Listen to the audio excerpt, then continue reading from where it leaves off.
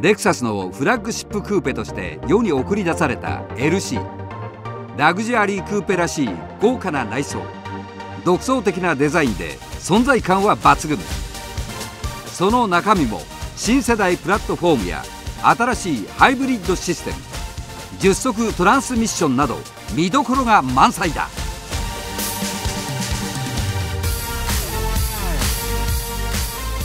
ドリキン土屋圭一が袖ヶ浦フォレストレースウェイでその性能を明らかにする。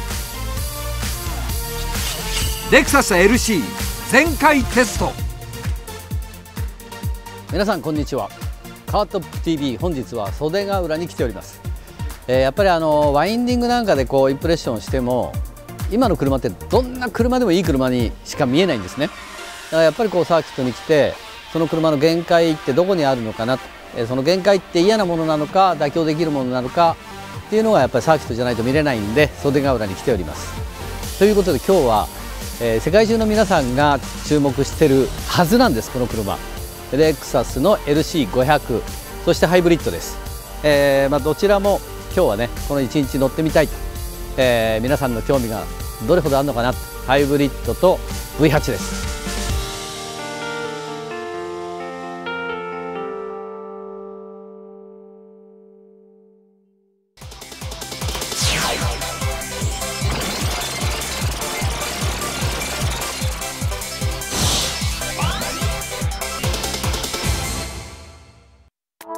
走りを強調したモデルが V8 エンジンを搭載した LC500 5リッター V8 エンジンは477馬力。540ニュートンメーターのトルクを発生。今回のテスト車両は S パッケージでレクサスダイナミックハンドリングシステムと呼ばれる後輪操舵制御トルセン LSD などが組み合わされる。果たしてその走りはいかに？そして新世代のスポーツカーらしくハイブリッドモデルも設定。LC500H はマルチステージハイブリッドシステムを搭載。これまでハイブリッドの弱点とされたダイレクト感を大きく改善。システム出力はエンジンモーターを合わせ359馬力となっている。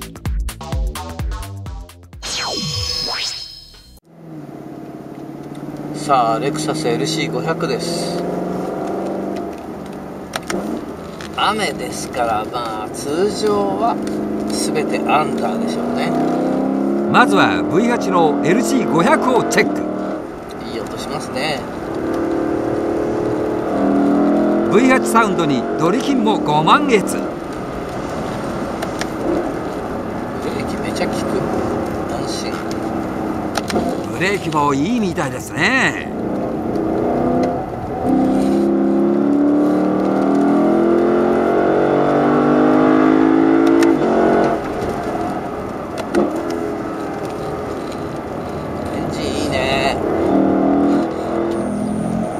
挙動はかなり安定志向？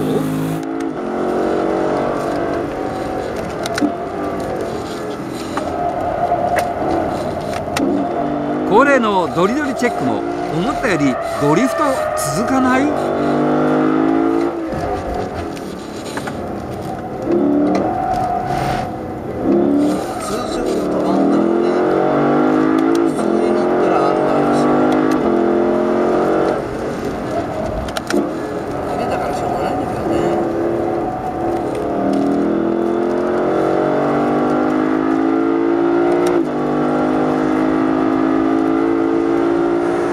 トップスピードは170キロをマーク。おっとちょっと制動が乱れた？ちょっとブレーキの効き方には違和感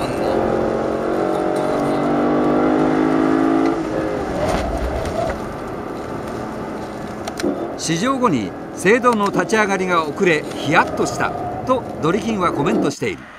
原因はわからないが開発陣には検証をお願いしたいポイントだ。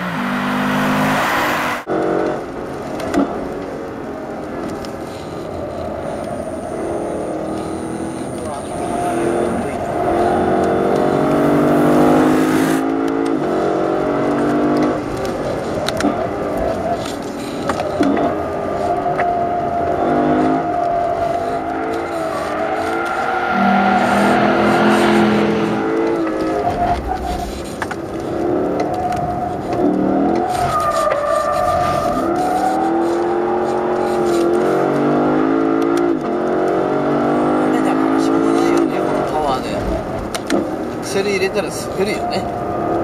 ただ安定してる。前も後ろも一気にこう逃げるっていうところはない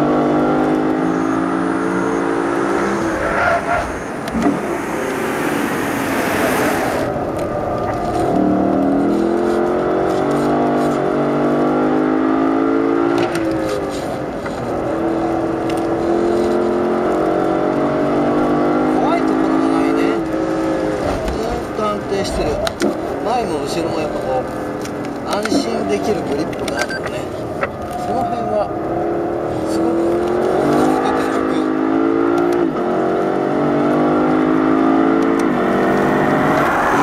こんだけ濡れてる路面なんだけど怖くないね前も後ろもね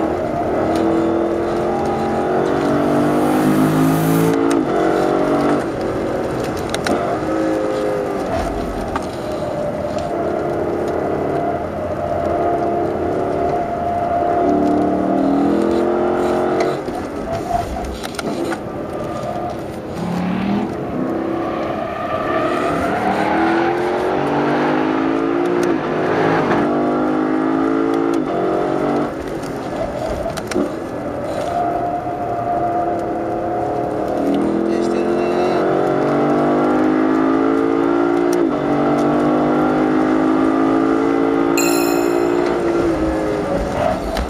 ポンって踏んだ時の空想距離がちょっと怖いんだなこれ。ドーンとこう踏んだ時に。その効きがすぐ来ない。ちょっと待ちの時間がそこが怖いなそれは何だろうなブレーキの伝達方法かな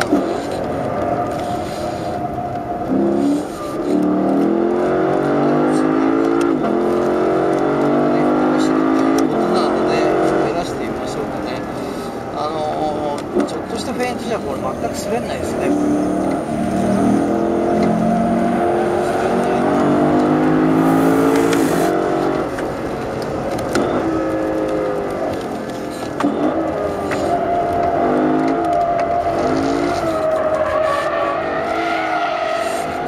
レベルが高くドリフトが続かないとドリキンは語る。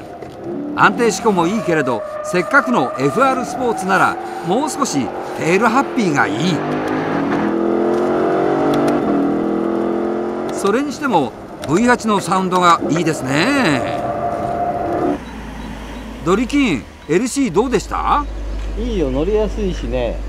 あの質感がすごく上がってるよね。重さは感じますか？やっぱ重いよその、うん。切り返しみたいなところだと。だけどその重さをこうカバーするようなサスペンションストロークとストロークスピードだよね。そこをうまく見つけてるいいところをね。重いんだけどじゃあスポーツできないのっていうと全然できるような質感の高いスポーツできるような車に仕上げてますよね。だからそこがまあさすがだな。っていうところはありますよ。車重に対してエンジンの出力とかはどうですか？車重車重っていうのはやっぱりこう車のスポーツ性をスポイルしちゃうところなんでね。だからそこはもうしょうがないかなっていう。だからこれだけ重いとエンジンパワーももうちょっとあっていいのかなっていう気はするけど十分な速さですよ。十分速さは持ってるんですよ。ただやっぱりこう車重を押し上げていく上りだとかそういったドルクバンドから外外れた時のパワーとなるとああなんかもうちょい欲しいなっていうまあ欲が出ますよね 人間は。でもこれで普通の人は十分だと思いますよ。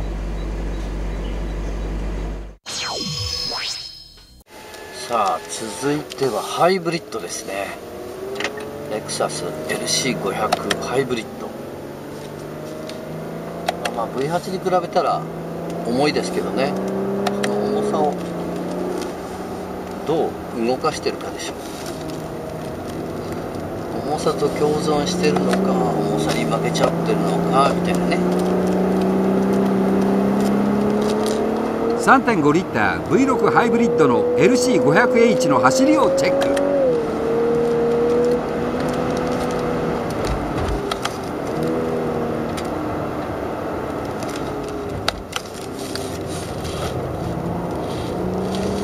にはかなわないけれどハイブリッドもいい音してますね。勝手にアップしちゃうのねドリキンはマニュアルモードでも勝手にシフトアップしちゃうのが気に入らない様子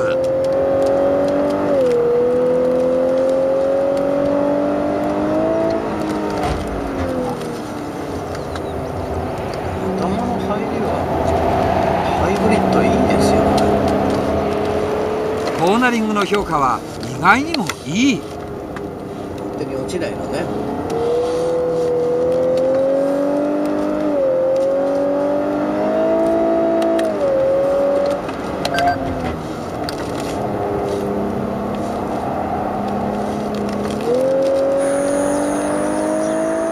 トップスピードは155キロをマーク。まあ速さはないけどブレーキの利きがこれも一緒だなカンと効くねちょっとこう空速距離みたいのがあってその後ドンとくるようなハイブリッドは回生ブレーキがやっぱりきつい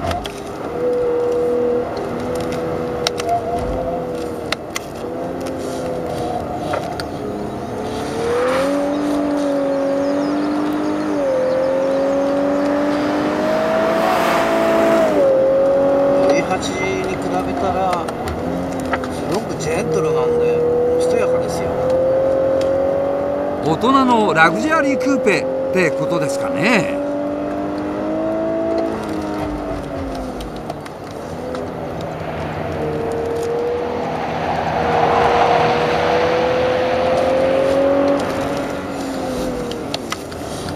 オーバーは出そうにはないね。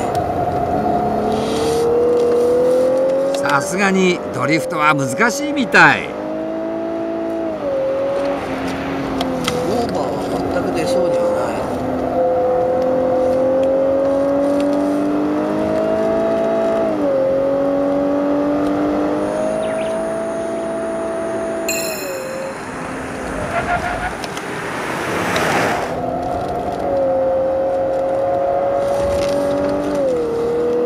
出るのはアンダーだけですね重いんでしょうね動きが本当重そうな重いんだけどうんなんだろう。うまいね。沈ませ方が。戻りもストロークもそうだけど。なんだこれっていう。そういうドンブラコじゃない、ストロークのさせ方はうまいですよこれ。言い方悪いですけど分かってるやつが作ってるんだろうなっていうね。実験もそうだし実験もあれは車重で押してっちゃうね。これはしょうがないかなやっぱりう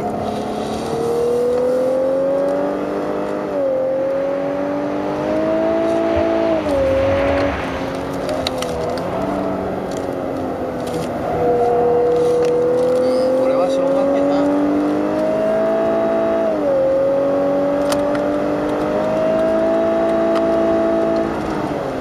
ドリキン LC500H の評価は？まあ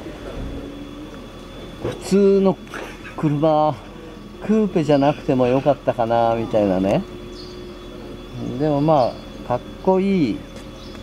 ハイブリッドっていう感じかな。あのー走りに関してはまあしょうがないのかな重いからっていう感じだよね。まあどこでも重さは出るんですけどえータイリングから想像するような走りっていうのはちょっとないんじゃないかな。気分で乗るハイブリッドです。どちらかというとラグジュアリークーペっていうジャンルに入る感じですあーそういう感じだよね。スポーティーなクーペではない。あースポーティーっていうよりはラグジュアリーでしょうね。ちなみにねあのタイムがガソリン車に対して2秒落ちくらい、ん。っていうのはまあ想定内ですか？そうだね。遅いわね。乗ってて遅いあのー V8 の方はあーいい感じだなっていうねパワー的にそのギアを落としても上げても速さがこう一緒にこうついてくるっていう音と一緒についてくる。こっちはそうではないよね。だからやっぱりこうこっちの方がこう大人な人が乗るクーペっていう感じ。今までのハイブリッドと違ってこうなんていうんですか？回転のそのシフトアップの仕方とかっていうのはどうですか？パワーのないエンジンかなみたいなね。お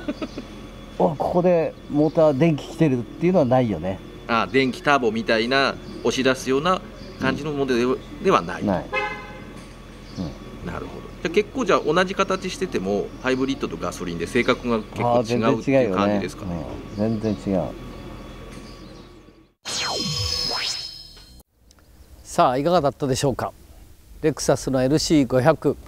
えーまあ、V8 の方はね非常に運動性能もいいし足もしなやかだし、えー、普段乗りに関してはもう100点でいいんじゃないかなっていう、えー感じがします、えーサーキット乗ってみるとピュアスポーツではないんですけれども街乗り100点の車がサーキットを走っても楽しく走れる、えー本当にねツインクラッチと同じような感じで走れたのがちょっとびっくりしましたね。あのこういう車だと大体サーキットを走るといまいちなんですけれどもこの LC500 に関しては本当しっかり作り込んでるなっていう、えーワインディングを乗って本当に気持ちいい車ででなおかつサーキットも普通に楽しく走れる、えー FR を楽しめる。